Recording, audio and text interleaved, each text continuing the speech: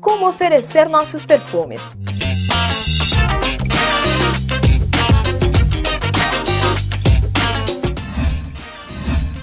Vamos falar agora de como indicar os perfumes mais adequados para cada cliente. As pessoas costumam usar perfumes de diferentes formas, não é mesmo? Há aqueles que são fiéis a um único perfume e o usam em qualquer ocasião. Outros gostam de usar um perfume para o dia e outro para a noite. E existem aqueles que gostam da maior variedade e usam um perfume diferente para cada momento. Então, como recomendar o perfume mais adequado? Perfumes diurnos e noturnos. Os perfumes mais recomendados para o dia são os suaves e moderados, porque normalmente são leves e menos marcantes. Já os intensos de qualquer uma das famílias olfativas são indicados para a noite, por serem mais marcantes e sofisticados. Para simplificar, faça quatro perguntas básicas. Primeiro, qual a sua preferência? Perfumes masculinos, femininos ou unissex? Segundo, você tem preferência por algum perfume importado?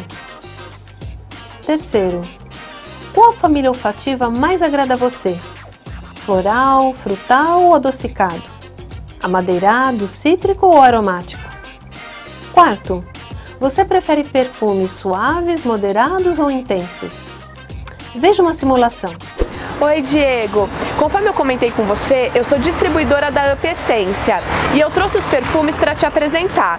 A UP é uma empresa 100% nacional e tem uma gama imensa de fragrâncias inspiradas na perfumaria internacional. Você tem preferência pelos perfumes femininos, masculinos ou unissex? Por que fazer esta pergunta? Porque há mulheres que gostam de perfumes mais amadeirados, considerados masculinos e há homens que gostam de perfumes mais adocicados, considerados femininos. Você tem preferência por algum perfume importado? Se o cliente responder sim, procure a correspondência importada entre os nossos perfumes. Se o cliente responder não, faça a terceira pergunta. Você prefere os perfumes aromáticos, cítricos ou amadeirados?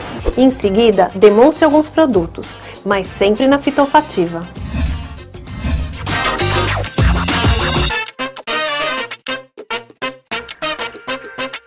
Para ser mais assertivo, faça uma quarta pergunta. Você gosta de perfumes mais suaves, moderados ou intensos? Com essas quatro perguntas, você consegue direcionar e ajudar seu cliente a